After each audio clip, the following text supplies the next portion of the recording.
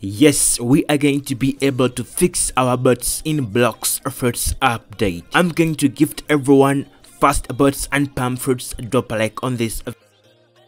A few hours ago, Rip Indra shared something on Twitter and he said, continuing with the Sea expansion update, players will now maintain their momentum correctly on bots. Yes guys, that had to be a fix. We're actually losing momentum stamina balance and actually end up falling off. When you're actually trying to levy hard. That's what's actually so annoying. It had to be fixed thanks to the Blox Fruits devs. That's that's actually so huge fix guys to be honest and as you can see he also said it's a relative small fix.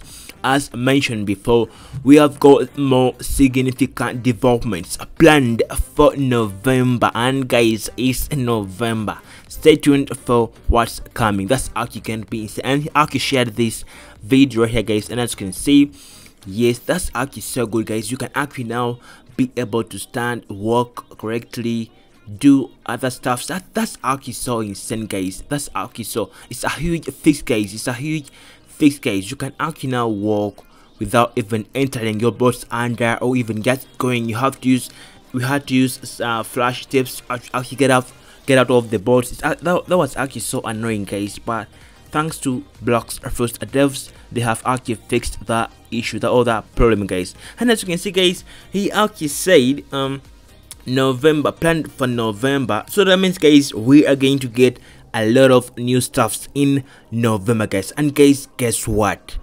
A user actually go went, went ahead and asked him i want to repair a bot and he said that's already part of the new system coming in the next update. Yes guys we are going to be able to fix our bots in the update. Yes guys we are going to be able to fix our bots in Blox Fruits update. Everyone just go ahead and subscribe with a post notification. And if you drop a like i'm going to gift everyone fast bots and palm fruits. Just don't forget to type in your roblox username in the comment section.